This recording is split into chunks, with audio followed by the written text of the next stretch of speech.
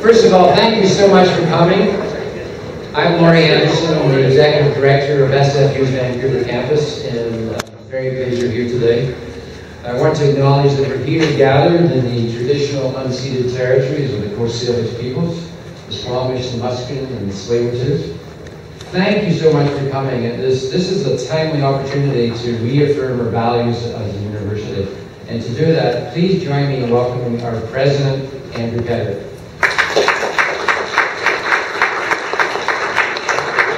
Well, thank you very much, Laurie. You know, I was saying to Laurie upstairs before that uh, will there be people turning up? wow. Um, it's just great to see you. Thank you so much for, for coming out. Uh, just as we did on the Hill last week, uh, clearly the community is very much together in our concerns. And more than anything, it's important that we, I think, have that sense of community and reaffirm our shared values and together demonstrate our commitments to diversity, equity, and inclusion at these times and I must say, it's just been really heartening to me to see the kind of response that uh, has been generated by uh, not only by my original message, but by a lot of the, the sharing, tweets, support, your messages, videos, uh, all of which have, I think, come about to demonstrate that we really are, as our buttons say, we are all SFU. And as SFU, we know that in these troubling times, it's important to show our solidarity and our support for those who justifiably feel threatened by recent events.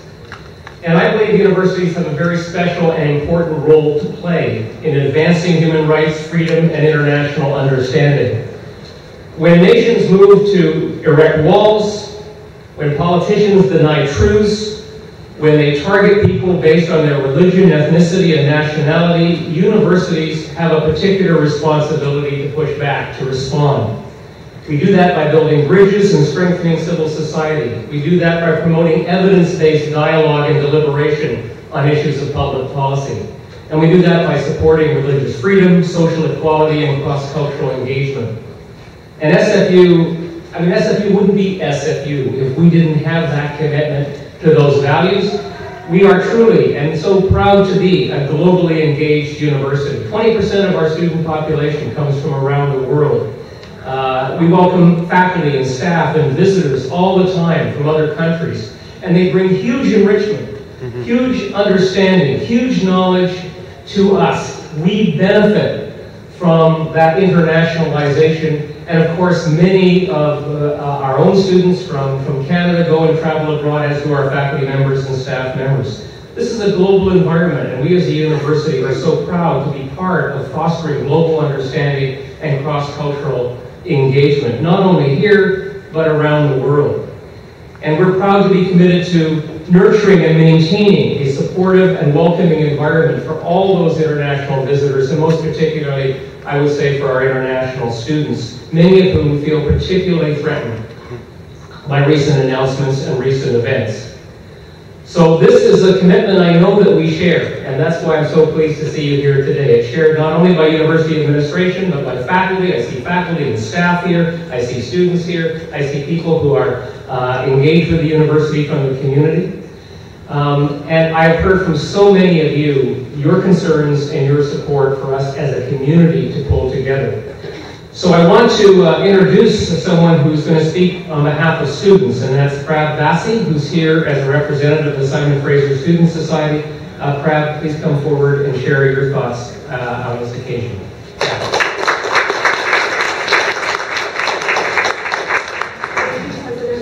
Um, good morning, everyone. I would first like to acknowledge that this event is taking place on the unceded territories the Coast Salish people, which, to the current knowledge of the Society, includes Squamish, Musqueam, and Tsleil-Waututh people. I would also like to thank President Petter and the SFU community for coming together today to show that we are all together, engaged, and ready. On behalf of the Simon Fraser Student Society, I would like to express our sincerest condolences to the people who are affected by the U.S. travel ban and the horrific events events that have taken place on the east coast of Canada. The fatal shooting that occurred in Quebec are personally quite upsetting for me since I was I lived and grew up in Montreal. The pain and loss experienced by the Muslim community is simply not fair. No one should have to suffer such tragedy regardless of race, religion, or ethnicity. However, in the face of such tragedy, I have seen our SFU community come, come together in a very inspiring and powerful way. We have become stronger and louder and prouder than we have ever been before. And it goes to show that we will not let our differences divide us. We stand together today and fight hatred today, tomorrow, and every day after.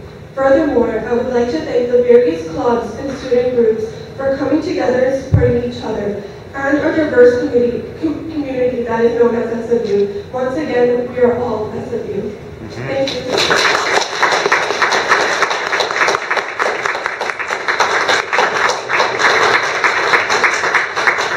Thank you, Prab. And uh, I must say the Graduate Student Society, the Undergraduate Student Society, many student organizations, the uh, Faculty Association, uh, unions representing staff. Uh, it's amazing to see how people have really come together and really want to make it clear that we as a community are not going to be thrown off our commitments by events that are happening elsewhere in Canada or indeed around the world or south of the border.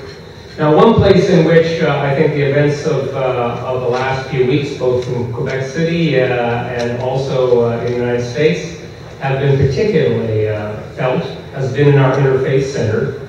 And I would like to ask Victor Thomas, who is the director of our Interfaith Center, to come forward and share a few words uh, from his point of view. Victor.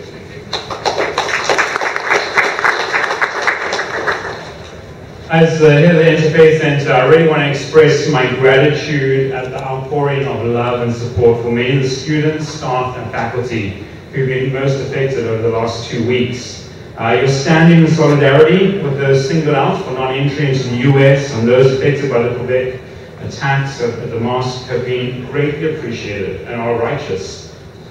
Uh, the Interfaith Center surely is one of those diverse, inspiring places. Up at SFU Burnaby, we have about 1,250 students who make use of the center weekly, uh, about 105 weekly groups. And right here uh, on this campus, we have a space also on the seventh floor with about 700 students using that uh, a monthly and making a place where they can receive support and practice their faith. The Interfaith Center is one of those diverse places on our campus, a space where practice is encouraged, where, where people get develop, question, integrate, and mature uh, in their faith and understanding while attending SFU. And international students make a large component of those who make use of the interfaith services. Many directly affected by the travel ban, and Muslim communities affected by the Quebec attack. SFU through the centre really has believed has been bold and proactive in providing space and openness uh, on, for those, uh, for everyone to find support and part of SFU. In times like this, I think we need to remember something Martin Luther King said. Darkness drives, darkness cannot drive out darkness. Only light can do that. Hate cannot drive out hate. Only love can do that. In this diversity, it has been my privilege and honor to see the outpouring of support and love for and amongst the faith groups in our center. Individuals demonstrate their love for their neighbors. Thank you for all the love you've done. At SFU, instead of creating barriers, working from fear, we have an open, supportive community, creating opportunities for spiritual, spiritual practice and discussion. The Canadian Charter of Rights and Freedoms protects these rights. Article 1 and 18 of the Universal Declaration of Human Rights declares all human beings are born free, equal in dignity and rights, and they are endowed with reason and conscience and should act towards one another in a spirit of brotherhood. Everyone has the right to freedom of thought, conscience, and religion. And as SFU, we celebrate these rights and we have a privilege to practice them freely. These freedoms are essential to the pursuit of knowledge, wisdom, and ultimately truth. Now more than ever, we need to have universities with courageous leadership, which is demonstrated here at SFU. And I call you all to start or continue to stand up for human rights, freedom of religion, conscience, and thought. Universities must and always have been spaces where ideas are openly engaged. where through respectful dialogue, debate, and research places that help inform and engage Canada and the world's future leaders. I echo the President's thoughts in that in the face of oppression and discrimination, universities have responsibility to build bridges, to promote dialogue, support religious freedom to social equity and cross-cultural engagement. This is more crucial than ever before, I really believe. It is in the plurality of individuals, the freedom of their conscience, religion, and ideas that the Academy finds its strength. It is in that diversity that ideas are found, forged, and will not only shape all of us now, but I really believe will shape the future of nations and our leaders. And I'm so proud to say that this is who we are. We are together, all SFU, strong and free. Thank you.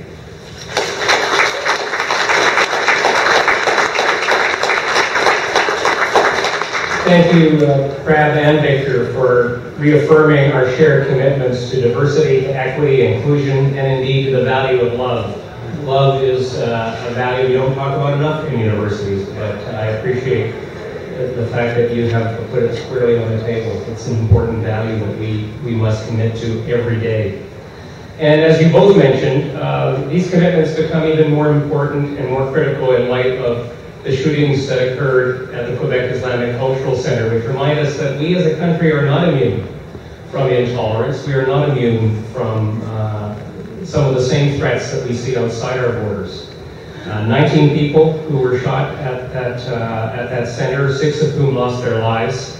The victims were parents, they were civil servants, they were academics, many of whom had left their countries to come to Canada because they believed that coming to Canada meant they would seek better lives, and how tragic and ironic that that decision resulted in their death.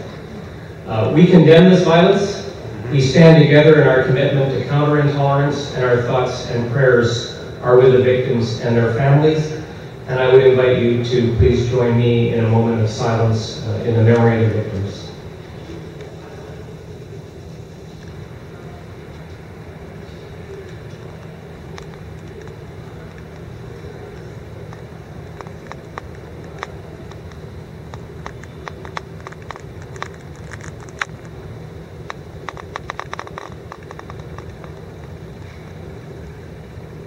Thank you all again for, for being here um, and for turning out and showing your concern and your commitment. We do have resources and we are increasing our ability to respond as best we can. So if you are someone or you know of someone who's in need of help, please don't hesitate to contact uh, as a student, the Registrar of Information Services or Health and Counseling Services, International Services for Students, or indeed the Interfaith Center. And all of these have a presence here on the Vancouver campus. Uh, I want to thank you again for being here and for, for demonstrating your determination to ensure that SFU remains a truly welcoming, inclusive, and globally engaged university. Uh, as much as we look to the courts and other institutions to, uh, to protect rights, I think the greatest strength we have is each other. Our collective energies, our shared commitments, our common resolve. Uh, with that, I think we can do much to advance the cause of human rights. Without it, others will not be able to help protect us. So your being here, your commitment is critical, and not just today, but every day. We must, all of us, individually and collectively, resolve every day to carry the spirit that is here today with us and ensure we are acting in a way that is consistent with the values that we believe in. And we are not uh, pushed off or intimidated by others who may uh, wish to, uh, to have us deviate from. So thank you again for being here. Please don't run off. There's uh, time to, uh, to enjoy each other's company, to talk about our shared concerns, to have some refreshment, and to reaffirm our commitment to SFU. Uh, we are all SFU. Thank you so much.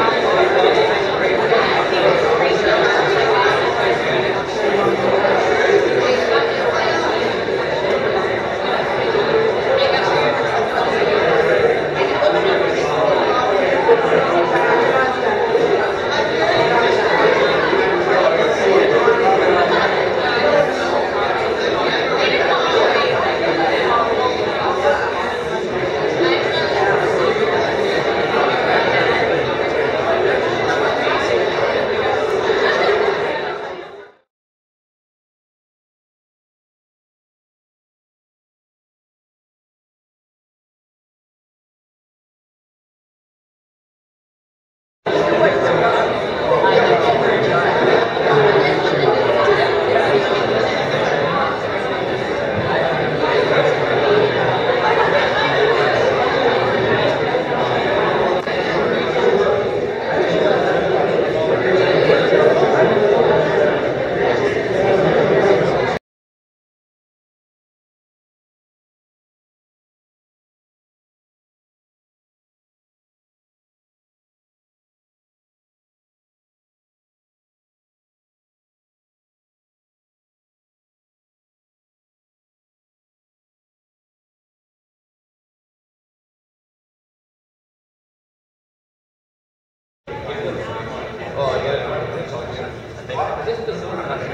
Yo, get it next. Callie, grab me.